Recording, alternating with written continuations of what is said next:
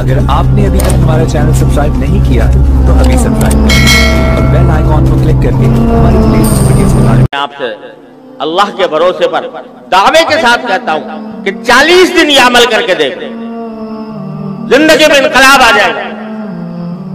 अल्लाह तबारक व तआला के फजल करम से ज़िंदगी कहीं से कहीं पहुँच जाएगी।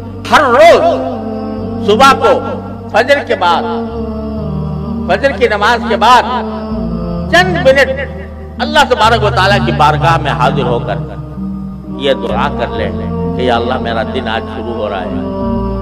और इस दिन में मेरी पता नहीं, मेरी, मेरा आखिरी दिन भी हो सकता है। आजकल किसी का पता है कि कब तक ज़िंदा रहेगा? हो सकता है आखिरी दिन हो।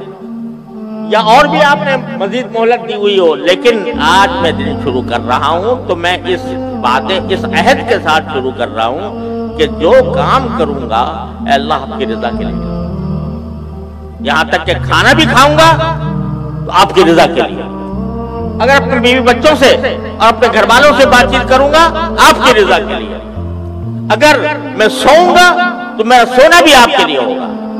यानी इसलिए होगा कि इस सोने के ज़रिए मुझे कुबत हासिल हो और मैं हासिल होकर आपकी इबादत ज़्यादा से ज़्यादा अंजाम दे सकूँ। इस नीयत के साथ करूँगा? इन सलाती व नुसुकी व महयाया व ममाती अल्लाह के लिए। और ये ये पहले तो ऐद कर लो और फिर साथ में दुआ कर लो। दुआ ये कर लो कि अल्लाह मैंने ऐद तो कर लिया। लेकिन मैं इस अहद पर खुद अपनी ताकत से कायम नहीं रह सकता।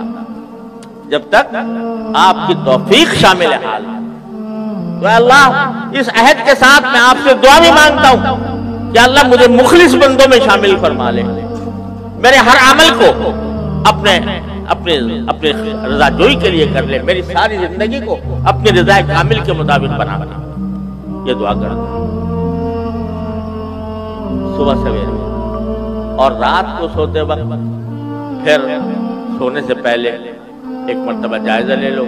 कि आज मैंने ज़िंदगी में अपने अपने दिन में क्या क्या काम किए थे और वो कैसे कैसे अंजाम दिए गए, उसमें कितना इखलास था, उसमें कितनी रजा जोई थी अल्लाह तबारक वाली कि। जहाँ नाफरमानी तो नहीं की मैंने, कोई अगर नाफरमानी की है तो अल्लाह मुझे अपनी रहमत से उसको माफ़ फरमा दे, मैं तौबा करता हूँ, इस्तगफार करता हूँ।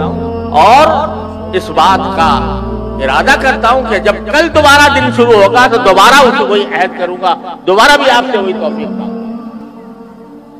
इस सुबह के पाँच मिनट और रात के पाँच मिनट। हैं तो बड़े आसान। कोई मुश्किल नहीं, कोई पैसा खर्च नहीं होता, कोई मेहनत नहीं जाती, कोई सफ़र नहीं करना पड़ता।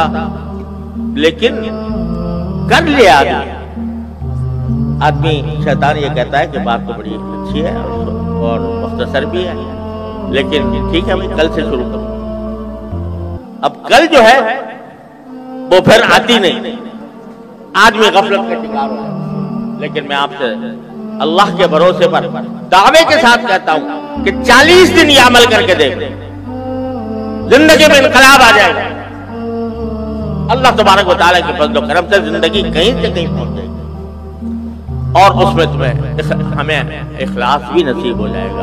अल्लाह तबारक वाली हमें तोफीक